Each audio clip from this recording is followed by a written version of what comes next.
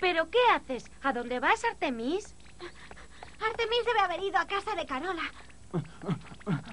¡Ah! ¿Eh? Gato tonto. No me menosprecies, Luna. Vamos, ¿quieres calmarte? Ahora quiero que los dos seáis amigos. Quítame el pie de encima.